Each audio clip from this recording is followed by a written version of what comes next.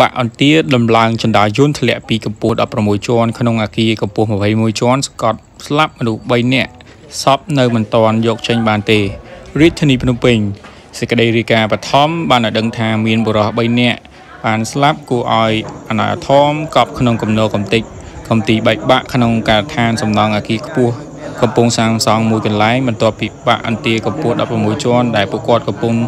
ដំឡើងចន្តាយន្តបណ្ដាលឲ្យកប់ក្នុងគំនរបែកបាក់នោះ ឃើញតែជើងម្ខាង តែប៉ុណ្ណោះហេតុការណ៍នេះបានបង្កឲ្យមានការផ្ញើផ្អើលឡើងកាលពីវេលាម៉ោង8:10នាទីយប់ថ្ងៃអាទិត្យទី13ខែតុលាឆ្នាំ2019នេះនៅតាមបណ្ដោយផ្លូវ65ក្នុងការដ្ឋានសំណង់អគារខ្ពស់មួយកន្លែង ដែលកំពុងសាងសង់ស្ថិតនៅចំណុចខាងកើតសន្តាគារ Holiday ភូមិដបសង្កាត់ស្រះចកខណ្ឌដូនពេញរាជធានីភ្នំពេញយោតាមប្រភព ពីកម្មករម្នាក់ដែលស្គាល់កម្មកររងគ្រោះទាំង3នាក់ខាងលើបានរៀបរាប់ប្រាប់ឲ្យដឹងថាជនរងគ្រោះទាំង3នាក់ជាជាងដំឡើងចន្តាយន្តក្នុងការដ្ឋានសំណង់ខាងលើហើយនៅមុនការហេតុពួកគាត់បានបាត់ខ្លួនឈឹងសំបីតែទូរស័ព្ទក៏តាក់ទងមិនបាន តាំងពីប្រលប់ថ្ងៃទី12ខែតុលាមកម្លេះហើយក៏មិនដឹងថាបាក់អន្ទាដែលពួកគាត់ដំឡើងចដាយន្ត នៅជាន់ទី16នៃសំណង់អាគារកំពង់សាងសង់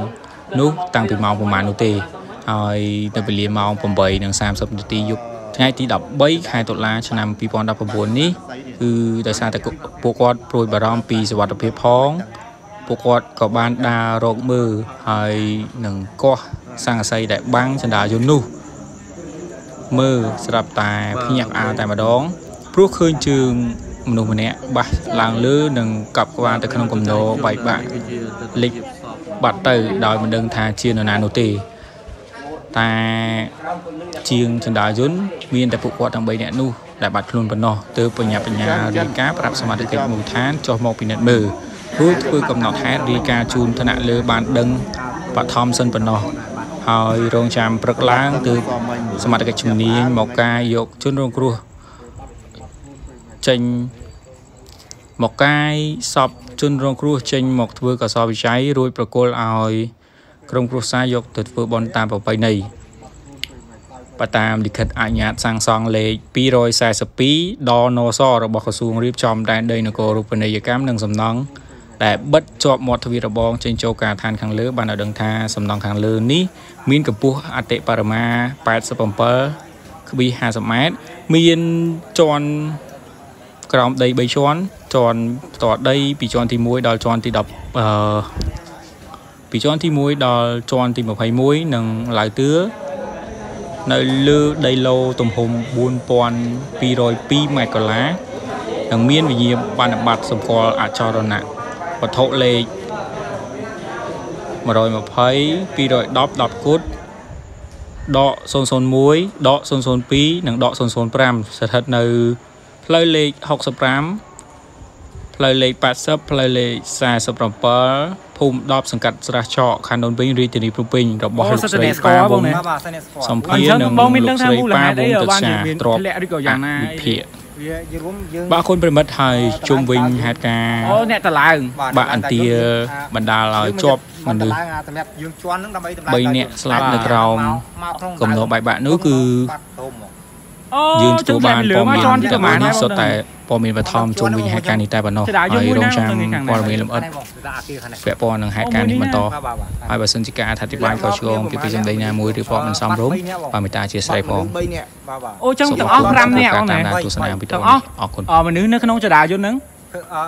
បាត់3ឯងបាត់3បាត់3ណាបាត់1អញ្ចឹងមកប៉ុនប៉ុនឃើញមួយឃើញមួយឃើញតែស្មាទេតែអត់ឲ្យយើងឃើញមុខទេបែរមុខទៅ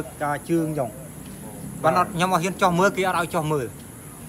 អញ្ចឹងអត់ដឹងថាគាត់យ៉ាងម៉េចទេបងអញ្ចឹងបើបើជាស្លាប់បងអត់មានលឺសលេងអីព្រោះបាត់អត់ម្សិលអូចឹងឃើញតែខ្នងគៀបជាប់ចឹងទៅតាមលឺថ្ងៃសៅរ៍ម៉ោង8កន្លះម៉េះអូចឹងបាត់មនុស្សហ្នឹងយូរហើយយូរហើយ មែនទៅមកលើឥឡូវអីចឹងមែនទេបងប្រហែលថ្ងៃអីបងថ្ងៃកាត់ម្សិលមិញល្ងាចថ្ងៃសៅរ៍ម៉ោងវាយជា8កន្លះម្សិលមិញល្ងាចថ្ងៃសៅរ៍អត់ដឹងដឹងតាំងពីខ្ញុំទឹកប្រាប់គាត់មិញដែរប្រាប់បលីមិញហ្នឹងប្រាប់តែបលីបលីមិញដែរទេបើអត់ទេប្រាប់ហើយជាម៉ោង3ជាងហើយបលីគេទៅមកមិញតែទៅមកមិញអូប្រាប់តាំងពីម៉ោង3ហើយទៅមកមិញមកមិញហើយតែដល់ពេលដឹងដឹងខ្ញុំក៏ដល់ដល់មនុស្សនឹងស្លាប់ក្នុងហ្នឹងដែរ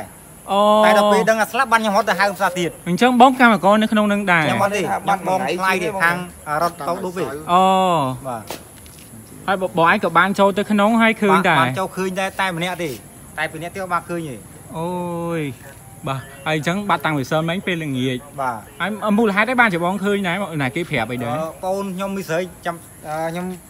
អឺល្ងាចមិញថ្ងៃសៅរ៍ហើយជាមកប្រាក់ឡាដុបបងស្រីខ្ញុំវាធ្វើការរងចាក់វាមកលេងប្តីវាដុបបងនឹងមក វាមកកន្លែងហ្នឹងអញ្ចឹងបានន័យថាបងធ្វើការនៅនឹងដែរបងអត់អត់ធ្វើបងខ្ញុំរត់ទៅដុបទេតែបងឲ្យជូនមកបាទបងដឹងអាគារនេះប្រហែលជាន់ទេបងអត់ដឹងដែរបងអត់ដឹងទេបណាគេខាងនោះគេគេបាទហើយហើយអញ្ចឹងបងឲ្យជួយបញ្ជាក់ឈ្មោះមានស្គាល់អ្នកដែលរងគ្រោះហ្នឹងណាគេខ្លះទេបងអឺអ្នករងគ្រូហ្នឹងអឺទី1យ៉ែមទីនយ៉ែមទីនអាយុប្រហែលដែរបងអឺអាយុប្រហែលជា30 37ប្រុសឬស្រីអឺប្រុសចុះម្នាក់ទៀតបង អ្នកទៀតអឺឈ្មោះរងមិនស្អីគេរងនេះហើយប្រហែលអាយុអាយុគាត់ប្រហែលជា32គេរងហ្នឹងពងថ្លៃខ្ញុំបាទហើយចុះម្នាក់ទៀតអត់ស្គាល់ទេអត់ស្គាល់ទេប្រុសដែរបាទប្រុសអដែរញ្ចឹងប្រុសទាំង3បាទបាត់បាត់តាំង3នាក់ហ្នឹងខ្ញុំ3នាក់អឺខាងទី1ទី2ទី3ហ្នឹងនាំគ្នាទៅអូប៉ោះសាច់ញាតិហ៎បាទសាច់បងញាតិណាបាទទៅប៉ោះអីមកជួយហៅឲ្យអញ្ចឹងហ៎ អញ្ចឹងឥឡូវបានឃើញឃើញឃើញអឺបាទអឺមនុស្សម្នាក់ឯងតែអត់ដឹងដឹងថាស្លាប់ឬក៏រស់ទេបាទបាទបាទហើយក៏ប្រាប់ប្រាប់ទៅប៉ូលីសទៅបងបាទបាទខ្ញុំទៅទៅហៅប៉ូលីសទៅដល់ប៉ូលីសទៀតប៉ូលីសមកអូខេគេមកអរទៀតគុណច្រើនបងឥឡូវមិនអីនៅខាងក្នុងបងអឺក្នុងបងអត់សួរអអ្នកត់ក្នុងតមិនអីអត់តន់រស់រឿយអត់តន់ប៉ះពាល់អីអទាំងត់អតស់ន់បងប៉ះពាល់ទេបងបាទហ្នឹងហើយអរគុណច្រើនបង